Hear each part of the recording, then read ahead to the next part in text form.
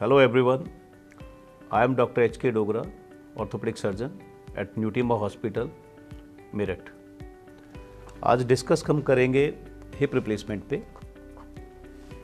पहले थोड़ा सा इसका हम एनाटॉमी के बारे में जान लें कि जो जोड़ क्या है हिप जॉइंट जो है ये इसको हम बॉल एंड सॉकेट जॉइंट बोलते हैं ये ये कुल्ले की जो थाई की बोन है इसका जो ऊपर वाला हिस्सा है ये एक बॉल बनाता है और ये पेल्विस की बोन जो सॉकेट बनाती है, और ये हिप की जॉइंट बनता है, इस तरह से इसकी मूवमेंट होती हैं। ये जो ब्लू वाला कलर हम देख रहे हैं दिस इज़ बेसिकली कार्टिलेज जो यहाँ भी है और दोनों तरफ़ है।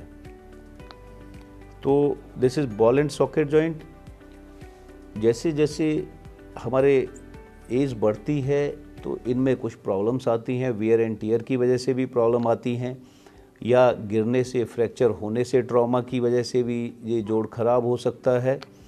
और तीसरा जो एक ए वेस्कुलर नेक्रोसिस है, जिसमें खून का दौरा बॉल के अंदर रुक जाता है, जहाँ शरीर के जिस हिस्से में ब्लड नहीं जाएगा, ब्लड ना जाने की वजह से इस बोन को न्यूट्रिशन नहीं मिलेगा तो वो डेड होने लगती है, जिसको हम बोलते हैं ए वेस्कुलर नेक्रोसिस बोलते हैं। इसके अलावा चौथा कारण जो है, वो रोमेटॉइड आर्थराइटिस गठिया बाई है, उसमें ये जोड़ खराब हो जाता है, तब इन जोड़ों को चेंज इस जोड़ को चेंज करने की ज़रूरत पड़ती है। हिप रिप्लेसमेंट ये हमने नॉर्मल स्ट्रक्चर जो था, ये इसका एक्सप्लेन करा था। अब नेक्स्ट में जैसे जैसे एज बढ़ती है तो ये जोड़ थोड़ा सा रफ होने लगता है कार्टिलेज घिसने लगता है। तो ये जोड़ जो है, वो स्मूथ ना होके रफ हो गया। तो इसको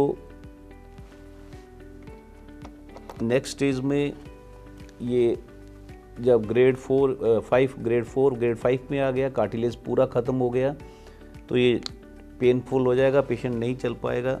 उसके बाद हम इसको जोड़ को रिप्लेसमेंट करते हैं। एवेस्कुलर नेक्रोसिस की जो केसेस हैं, वो पिछले दिनों कुछ ज़्यादा बड़े हैं। उसका कारण एक जो कोविड महामारी थी, इसमें हम लोगों ने स्टीरॉयड को as a life saving drug use करा। स्टीरॉयड इनटेक की वजह से एवेस्कुलर नेक्रोसिस के कारण बढ़े हैं। इसके अलावा हमारे इस क्षेत्र में दूसरा मुख्य, पहला मुख्य कारण जो है एवेस्कुलर नेक्रोसिस का है, वो है alcohol intake excessive alcohol intake में भी काट इसका ब्लड का सर्कुलेशन रुकता है तो वो भी एवीएन में लैंड करता है। अब हम, और अगली चीज़ जो है, वो है ओल्ड एज में जब फ्रैक्चर हो गया, ये बॉल यहाँ से टूट जाती है तो उस केस में भी हम हिप रिप्लेसमेंट करते हैं। हिप रिप्लेसमेंट की जो सर्जरी है, बहुत रिवार्डिंग सर्जरी है इस्टेब्लिश है, इसके रिज़ल्ट्स बहुत अच्छे हैं।